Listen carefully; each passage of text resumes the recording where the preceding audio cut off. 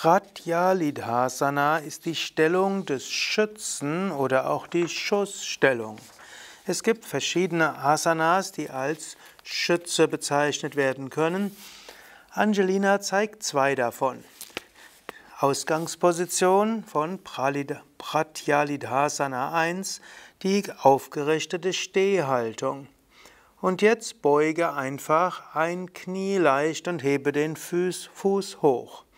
Und das ist äh, Pratyalidhasana 1. Pratyalidhasana 2. Komme zunächst zu Virabhadrasana. Ein Fuß vorne und der andere Fuß hinten, wobei du den hinteren Fuß auf den Zehenspitzen hast. Beuge dabei das rechte Knie etwa 90 Grad, sodass der Oberschenkel in etwa parallel zum Boden ist. Dann strecke die, den Arm nach vorne, indem das Knie vorne ist. Mache eine Faust.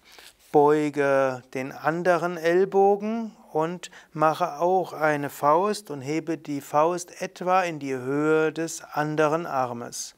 Und so kannst du dir vorstellen, dass du jetzt wie ein Schütze bist.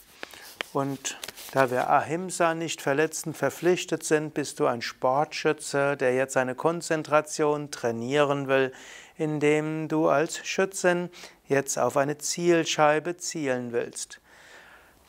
Pratyalidhasana kann dir helfen, zielgerichtet zu sein und auch Anstrengendes zu machen, konzentriert zu sein.